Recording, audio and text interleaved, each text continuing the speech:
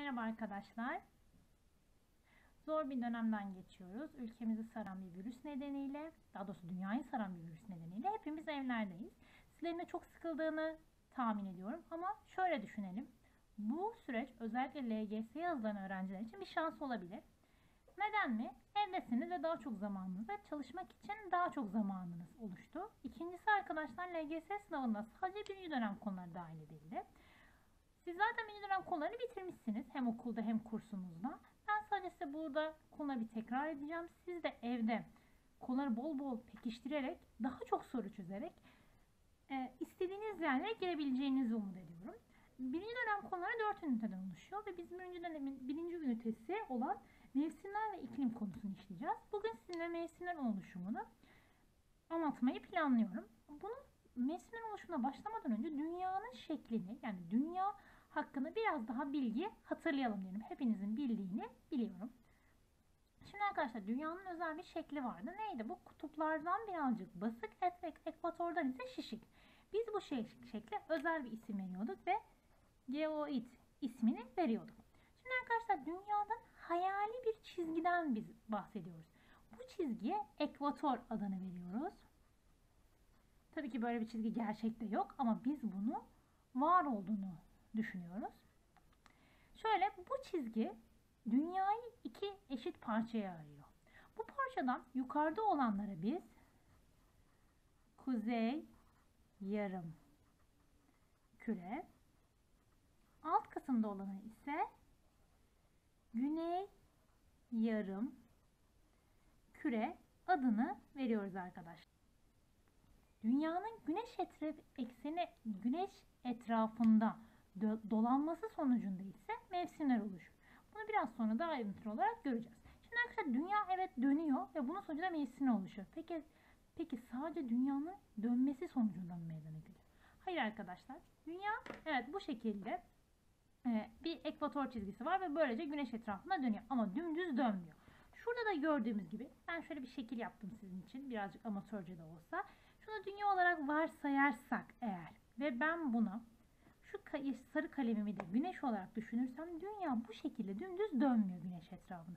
Hafif bir eğim oluşturacak şekilde görüyor. Şurada da gördüğünüz dümdüz değil hafif bir eğim oluşturan ve ben bu eğime eksen eğimli, eğikli diyorum.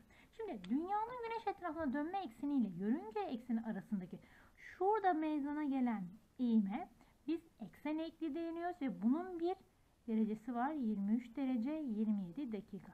23,5 derece diye de öğrenebiliriz. Şimdi arkadaşlar dünyanın kendine has şeklinden dolayı bazı olaylar meydana geliyor. Bunlar neler? Güneş ışınlarının yeryüzüne farklı açılarla düşer. Yani şuraya ben bir güneş diye düşünürsem şöyle bir açı göndereceğim arkadaşlar. Mesela burası dik açı dönün.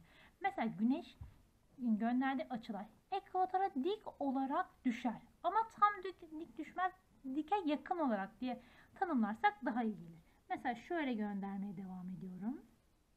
Gördüğümüz gibi arkadaşlar buraya doğru gittikçe diklik azalıyor. Ve şöyle gönderelim. Ki benim bu çizmiş olduğum şekilde yani dünyanın üst kısmı güney kısmında güneş ışınlarını hiç almadığını görüyoruz. Yani dünyanın kendine az şeklinden dolayı birincisi güneş ışınları yeryüzüne farklı açılarla düşer. İkinci özellik arkadaşlar dünyanın bir yarısı aydınlık iken diğer yarısının karanlık olduğunu görüyoruz. Bunu daha sonra biraz daha ayrıntılı göreceğiz. 2. Ekvatordan kutuplara gidildikçe gölge boyu artar. Şimdi gölge boyu dediğimiz şey arkadaşlar hepimiz biliriz ki akşam dışarı çıktığımız zaman bizi takip eden bir gölgemiz daha oluşur. Bunun gölge boyu arkadaşlar gelen açı miktarı ne kadar arttıkça gölge boyu o kadar artar. Mesela hiç öğlen vaktinde gölgesini gören var mı? Bu sorunun cevabını yok olarak yok olarak verdiğinizi düşünerek şöyle düşünüyorum. Güneş öğlen vaktinde en dik açı ile düştüğü için gölge boyu oluşmazken akşama doğru gelen açı miktarı azaldığı için gölge boyu da artar. Yani dünyanın kendi az şeklinden dolayı yeryüzüne farklı zamanlarda farklı açılarda güneş açılarda güneş ışığı gelir. Bunun nedeninde ise dünyanın bir tarafı gündüz bir tarafı geceyi yaşarken E, bir yerinde kış, bir yerinde ise yaz yaşanmaktadır. Şimdi daha ders e, konunun ilk başında bahsetmiştim. Dünyanın hareketi iki şekildedir. Bir dünyanın kendi ekseni etrafında dönme hareketi. Bir de dünyanın güneş etrafında ise dolanma hareketi. Dönme hareketi arkadaşlar 24 saat sürer ve bir günde tamamlanır. Batıdan doğuya doğru döner. Gece ve gündüz bunun sonucunda gece ve gündüz birbirini takip eder. Bu gün içerisinde güneş ışınlarının geliş açısı, geliş açısının açısına bağlı olarak sıcaklık, sıcaklık yine geliş açısına bağlı olarak gölge boyu, yerel saat ve basınç değişir. Öğlen, gölge boyu, en az sıcaklık en fazladır. En fazladır. Şöyle düşünelim arkadaşlar.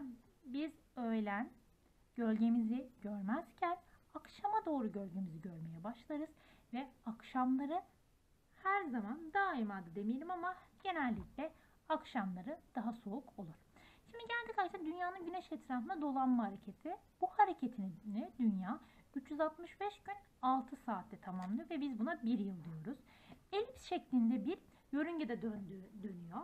Mevsimler bunun sonucunda ise arkadaşlar mevsimsel sıcaklık farklılıkları meydana geliyor. Peki arkadaşlar mevsimsel sıcaklık farklılıkları meydana gelmesinde sadece dünyanın güneş etrafında dolanma hareketini yapması mı var? Hayır arkadaşlar bir de eksen eğikliği. Daha da der, e, konuya başlarken ilk anlattığım dünyanın düz bir şekilde değil de hafif bir eğimli şekilde dönmesinden kaynaklanıyor. Arkadaşlar ben bu konuyu derslerde anlatırken şöyle diyorum. Dünya, dünya güneşin etrafına dönerken saygısından dolayı hafifçe ne başını eğiyor arkadaşlar. Şimdi arkadaşlar bu konuda ilgili en çok karşımıza çıkan e, soru tiplerinde 4 tane tarih var ve biz bu tarihleri bilmemiz gerekiyor. Ne bu tarihler? 21 Haziran, 21 Mart, 23 Eylül ve 21 Aralık. Fark ettiyseniz hepsi 21, 21, 21 iken bir de 23 Eylül, 23 şeklinde aklınızda kalsın. Şimdi arkadaşlar bilmem gereken bir şey var. Güneş ışınlarının dikey yakın geldiği yerlerde yaz mevsimi yaşanırken daha az geldi ya da gelemediği yerlerde ise kış mevsimleri yaşanır. Arkadaşlar şunu güneş olarak görelim. Dünyamın üst kısmı ve alt kısmı. Üst kısmına ne diyorduk biz arkadaşlar? Kuzey, yarım, küre. Alt kısmına ne diyordum? Güney, yarım, küre ismini vermiştim. Şimdi arkadaşlar, şimdi arkadaşlar şuradan sizinle birlikte sarı ile ışınlarımızı gönderelim. Şimdi ışınlar arkadaşlar şöyle dikey yakın yapalım. Gördüğümüz gibi kuzey yarımküreye ışınlar dikey yakın şekilde geliyor. Yani kuzey yarımkürede ışınlar dike yakın geldiği için burada hangi mevsim yaşanacak? Yaz mevsimi yaşanacak. Peki buraya geldim. Kuzey, güney yarımküreye nasıl geliyor arkadaşlar? Işınlar daha az geliyor diye düşündüğümüz için buraya da da kış mevsimi yaşanıyor diyeceğim. Aynı şeyi arkadaşlar 21 Aralık tarihi için yapacağım. 21 Aralık tarihinde gönderiyorum ışınları. Bu sefer dünyanın alt kısmına yani güney yarım küreye ışınlar daha dik açıyla geliyor. Yani burada yaz mevsimi yaşanırken kuzey yarım küreye ne oluyor arkadaşlar? Üst kısmına kuzey yarım küre diyordum. Işınlar daha ışın çizmemişiz arkadaşlar. Çizelim ışınlarımızı. Işınlar daha böyle eğik, eğimli gibi geldiği için burada da şöyle yapalım. Kış mevsimi yaşanıyor diyeceğiz arkadaşlar. Şimdi bunu sorular çözerken hocam ben unuturum 21 Haziran'da kuzey yarım küre miydi, güney yarım küre miydi? Ben şöyle diyorum. Türkiye yani bizim ülkemiz hangi yarım kürede bulunuyor? Tabii ki hepinizin cevap verdiğini biliyorum. Şurada kuzey yarım kürede bulunuyor. Şimdi şöyle düşünelim. Biz de 21 Haziran tarihinde yazı mı yaşıyoruz, kışı mı? Evet yaz dediğinizi duyuyorum. O zaman ne arkadaşlar? Kuzey yarımkürede yaz yaşanıyor. Peki 21 Aralık'ta bizde nasıl arkadaşlar? Kış yaşanıyor değil mi? Şimdi şöyle diyelim arkadaşlar. 23, 23 Eylül bizde ne yaşanıyor arkadaşlar? Evet. Ne yaşanıyor?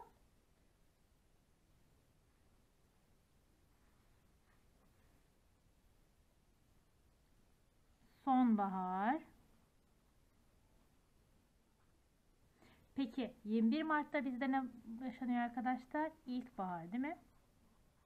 Yani 23 Eylül'de kuzey yarımkürede sonbahar başlarken güney yarımkürede ne başlıyor arkadaşlar? Sonbahar. Geldim 21 Mart'ta bizde yani kuzey yarımkürede ilkbahar yaşanırken güney yarımkürede ne yaşanıyor? Sonbahar. Şimdi arkadaşlar ben yine kendi yapmış olduğum dünyamı ele alıyorum. Dünyamı şöyle eğittim. Yani eğdim. Güneş etrafına dönüyorum. Ne yapıyor güneş etrafı? Hem kendi ekseni etrafına dönerken hem de güneş etrafına dönüyor değil mi? Bunu unutmuyorum. Ne demiştik arkadaşlar? Batıdan doğuya doğru dönüyor dönüyor, dönüyor demiştik değil mi? Şimdi şöyle diyorum arkadaşlar. Her zaman yaz, sonbahar, kış, ilkbahar şeklinde ilerleyeceğiz bu soruları çözerken. Çünkü mevsimler daima birbirlerini takip ederler arkadaşlar. Şimdi burada bilmem gereken bazı terimler de yani bazı özellikler daha var.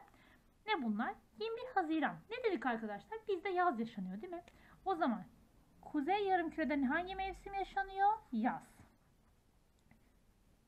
Güney yarımkürede hangi mevsim yaşanıyor o zaman? Kış dedik.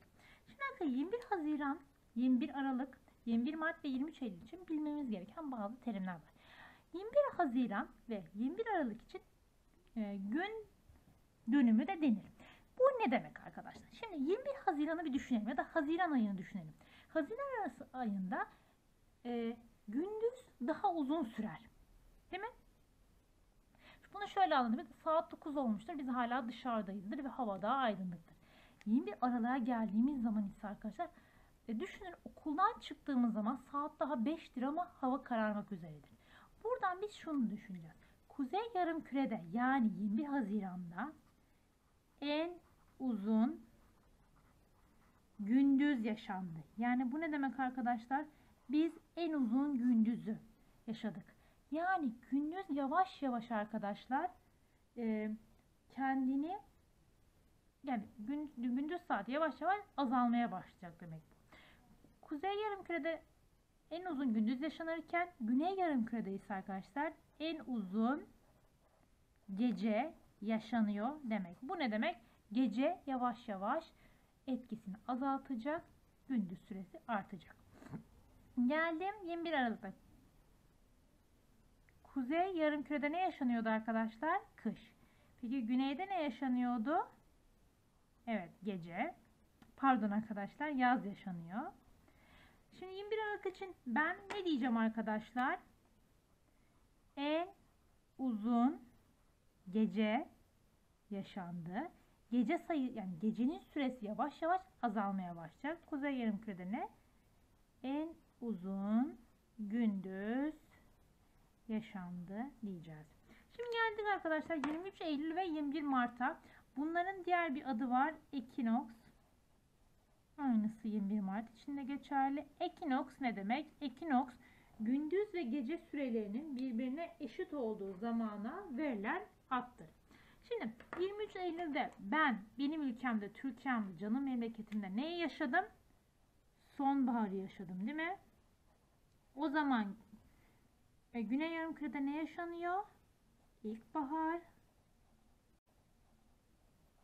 Peki 21 Mart'ta ben güzelim ülkemde neyi yaşadım arkadaşlar? İlkbaharı yaşadım. O zaman Güney Yarımküre'de ne yaşanacak? Sonbahar yaşanacak. Peki gece ve gündüz süreleri nedir? Hatı, arkadaşlar bunu haberlerde de hep görürüz. 21 Mart'ta gece ve gündüz süreleri birbirine eşittir. Yani 24 saatin 12 saati gece 12 saati gündüzdür. Aynı şekilde gece ve gündüz birbirine eşit olarak gördüğüm zamandır. Şimdi arkadaşlar bir de bilmemiz gereken bir şey daha var. Biz şöyle düşünüyoruz. Kuzey yarım kürede şurada bir dönence var ve ben bu dönenceye yengeç dönencesi adını veriyorum. Ben vermiyorum. Daha önce çok öncelerde bu verilmiş. Şöyle de bir dönencem var yine. Güney yarımkürede. Buna da da Oğlak dönencesi diyorum. Bu da sorularda çıktığı için arkadaşlar bahsetmek istedim. Şimdi bana 21 Aralık'ta bana derken Türkiye'ye ışınlar nasıl geliyordu arkadaşlar? Dike yakın geliyordu değil mi? O zaman 21 Haziran'da yengeç dönencesine ışınlar dik gelir. Yazalım şuraya. Yengeç dönencesine ışınlar dik hiçbir zaman gelmez.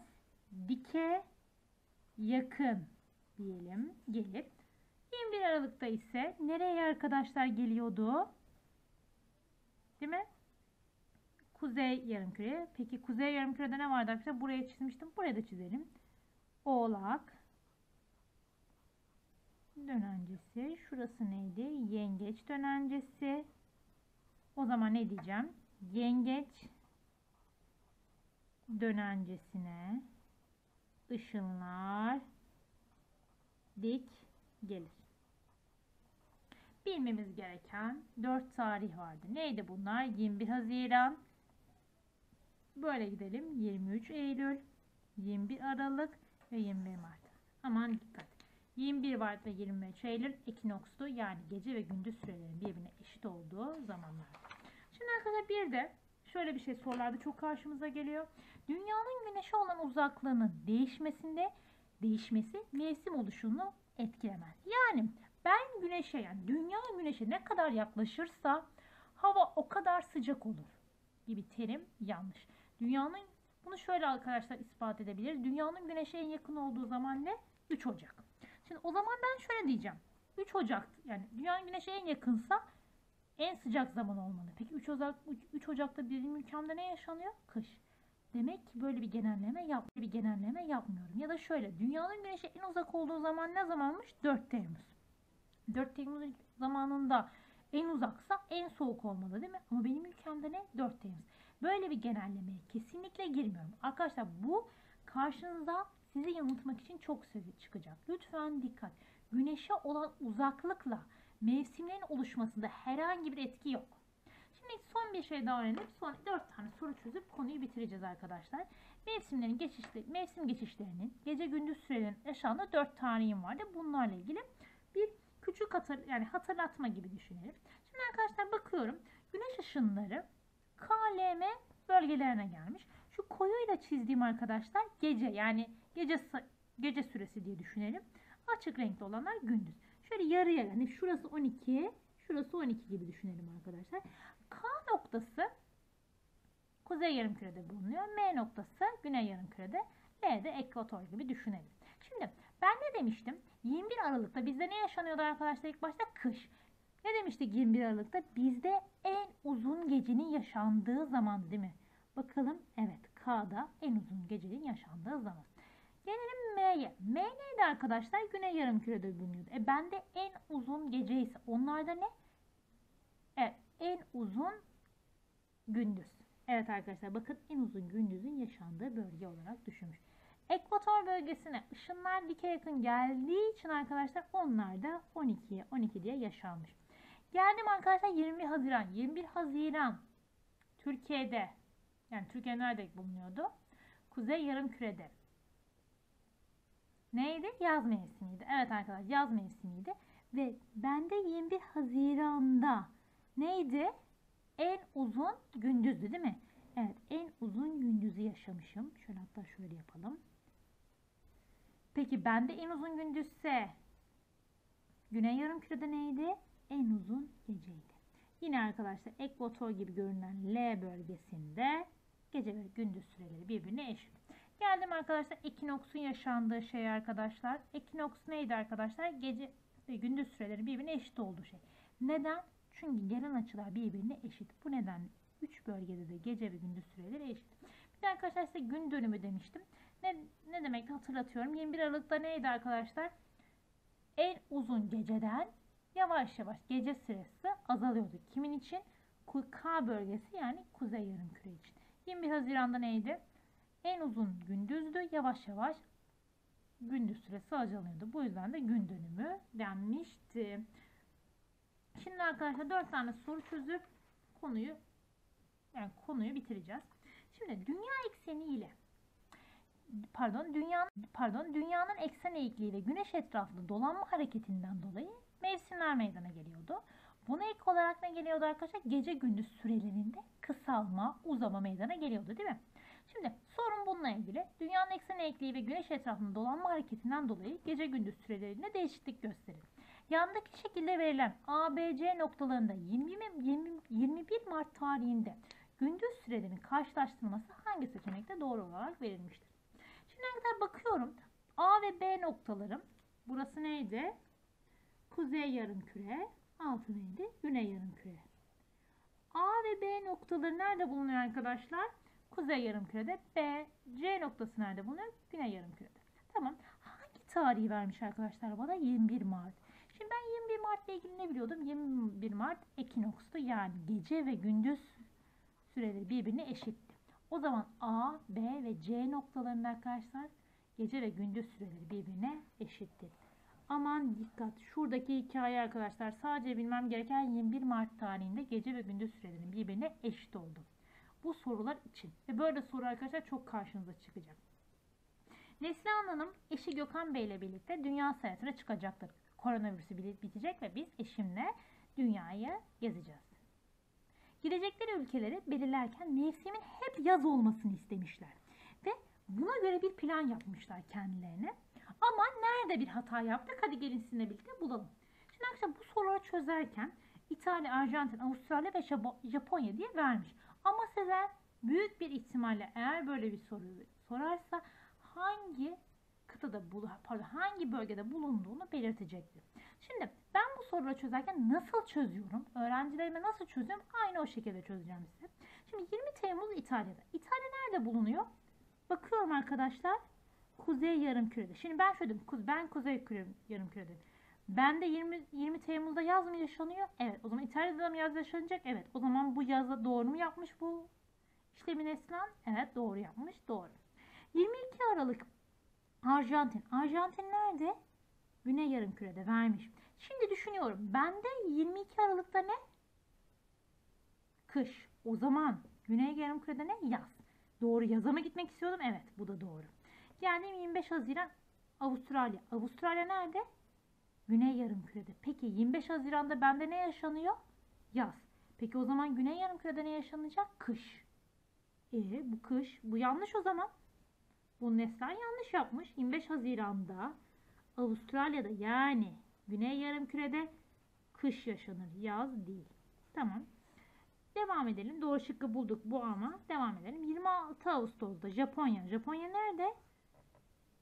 Kuzey yarım Kuzey yarımkürede değil mi? Kuzey yarımkürede 26 Ağustos'ta yaz mı yaşanır? Evet yaz yaşanır. Bu da doğru. Demek ki Neslihan 25 Haziran'da Avustralya'ya gitmeyecek. Peki Avustralya'ya ne zaman gitsin arkadaşlar? Mesela 20 Aralık'ta gidebilir mi? Evet gidebilir. Gelelim üçüncü sorumuza. Aşağıda aşağıdakilerden hangisi dünyanın dönme ekseni ilk olmasının etkilerinden biri değildir demiş. Yıl boyunca sıcaklık değişmeleri. Evet etkilerinden biri. Eğer eksen eğikliği olmasaydı dünyada sıcaklık değişimi meydana gelmezdi. Mevsimlerin meydana gelmesi zaten eksen eğikliği sonucunda oluşuyordu. Gece gündüz sürelerin yıl boyunca farklılık göstermesi ya da değişmesi demiş. Bu da doğru. Bir günün 24 saat olması. Bir günün 24 saat olmasıyla eksen eğikliğinin bir an bir ilgisi yok. Ee, bir günün 24 saat olması sadece dünyanın kendi ekseni etrafında dönmesiyle ilgili olabilir diyebiliriz. Mevsim son sorumuz arkadaşlar. Mevsim, heh, şöyle diyeyim arkadaşlar. Şöyle bir soru da çok geliyor. Eksen eğikliği olmasaydı ne olurdu?